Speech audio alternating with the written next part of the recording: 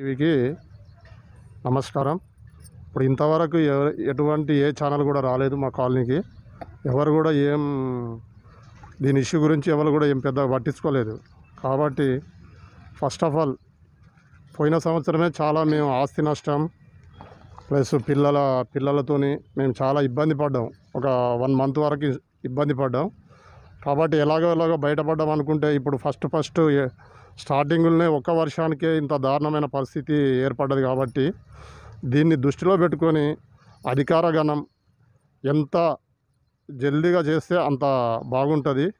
మరొక విన్నపం ఏంటంటే ఈ వీడియోను మన మున్సిపల్ శాఖ మంత్రి గారు కేటీఆర్ దగ్గర పోయి అతను తక్షణమే దీని యొక్క ఇంప్లిమెంట్ దీన్ని ఇంప్లిమెంట్ చేయాలని నేను మనసారా ఆ కేటీఆర్ సార్కు నేను దండం పెట్టి చెప్తున్నా ఆ కేటీఆర్ సార్కు ఇది పోయి దీన్ని ఫస్ట్ ఆఫ్ ఆల్గా ఫస్ట్ ఆఫ్ ఆల్గా వృద్ధ ప్రాతిపదికన దీన్ని పూర్తి చేస్తే ఈ కాలనీ వాసులు మొత్తం ఆ సార్కు మేము రుణపడి ఉంటాం.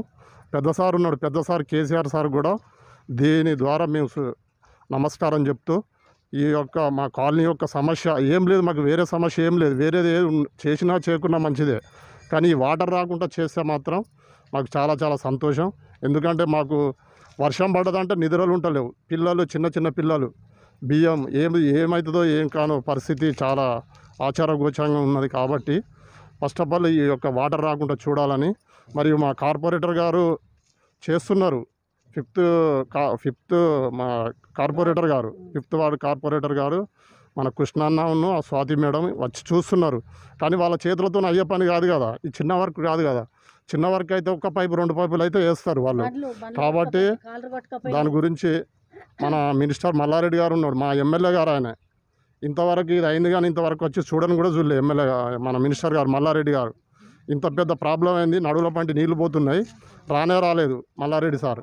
కాబట్టి దీనిపైన తమరి టీవీ ద్వారా విన్నవించుకునేది ఏంటంటే ఈ యొక్క ఈ సందేశాన్ని మన మినిస్టర్ మల్లారెడ్డి గారికి మరియు కేటీఆర్ సార్కు ఒకవేళ వీలైతే పెద్ద సార్కు కూడా కేసీఆర్ సార్ కూడా అందేటట్టు చూసి మా యొక్క ప్రాబ్లమ్ని క్లియర్ చేయాలని మీ టీవీ ద్వారా నేను విన్నవించుకుంటున్నాను